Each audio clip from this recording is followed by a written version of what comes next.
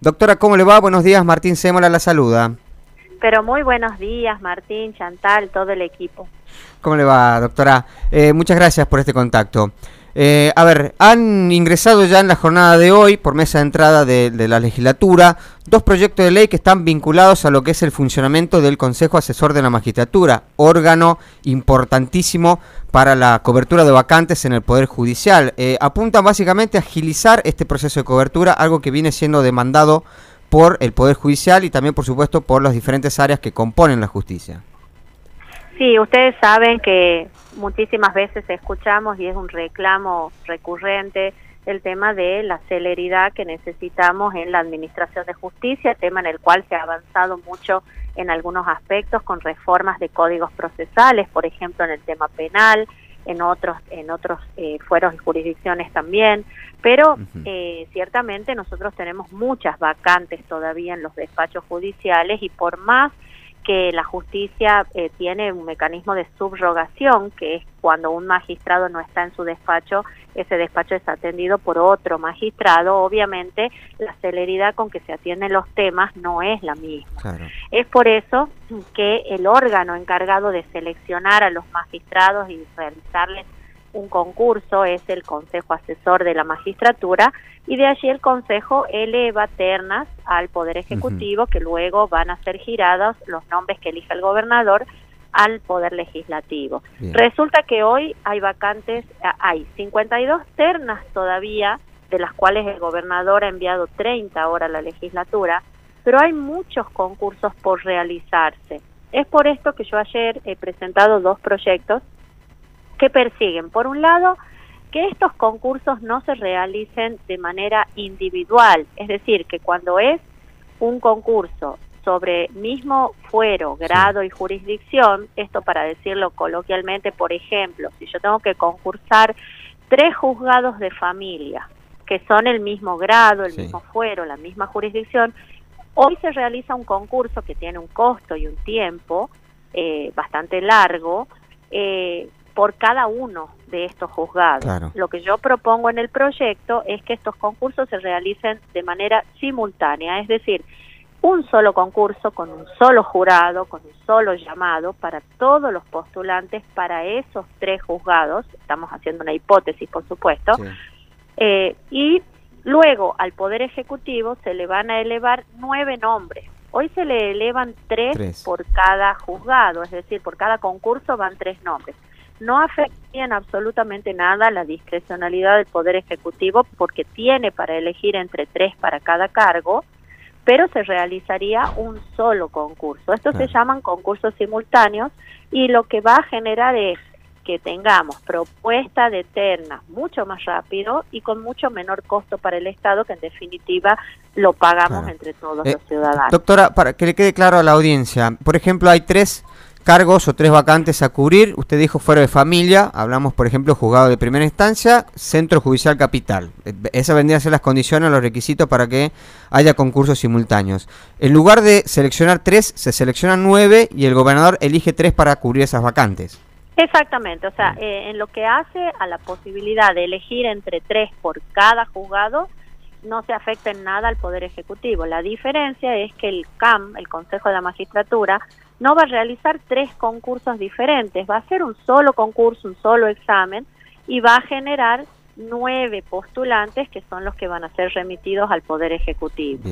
Eh, hay muchísimas eh, vacantes todavía sin cubrir y la verdad que la realización de los concursos de manera individual, si bien viene funcionando bien, esto hay que decirlo, pero esto le va a garantizar mayor celeridad y sobre todo un ahorro bastante importante porque cada concurso tiene un costo para el Estado.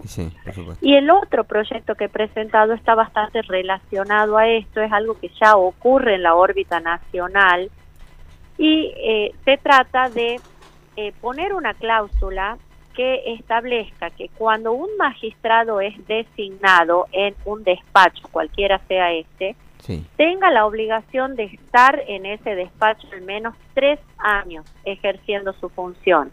Porque ¿qué es lo que está sucediendo? Ocurre que hay muchos postulantes que rinden para un juzgado y una vez que son designados, rinden otro concurso. y tal vez su calidad, su expertise haga que sean seleccionados, pero el Estado ha gastado en hacer ese proceso de selección, en hacer esa eh, selección de magistrado que va a ocupar un despacho para que esté ya ocurrido seis meses, un año en ese despacho y pase a ocupar otro.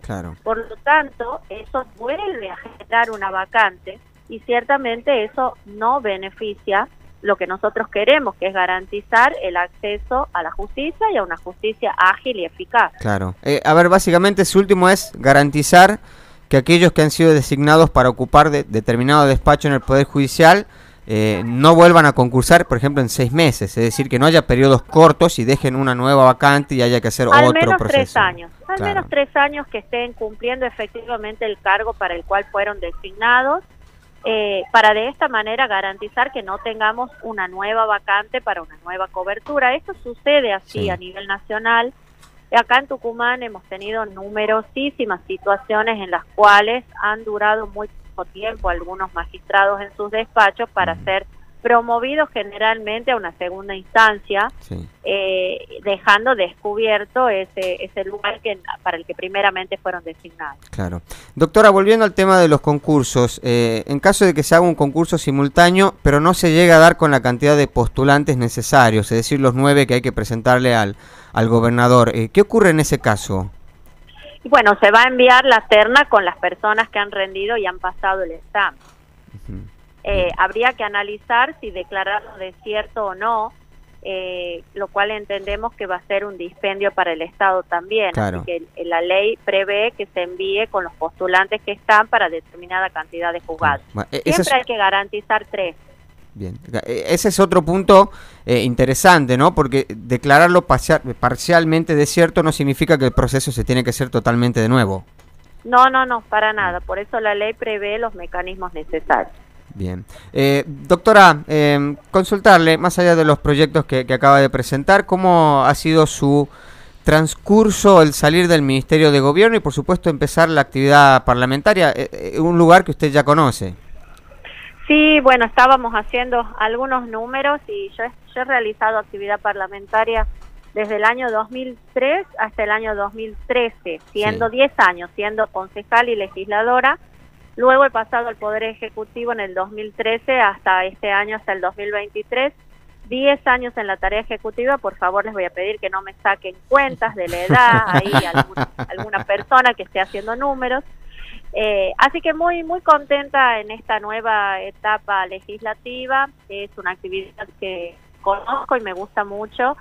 Sobre todo lo considero tan importante en la representación de la gente que ha confiado en nosotros con su voto, tanto en mí como en el concejal Miriano Así que estamos, bueno, trabajando codo a codo en el Poder Legislativo con el presidente de la Cámara, con el contador Miguel Acevedo, y bueno, ya habiendo presentado algunas iniciativas y con muchas cosas, proyectos a futuro también. Bien. Doctora, ha sido muy amable. Muchísimas gracias por su tiempo.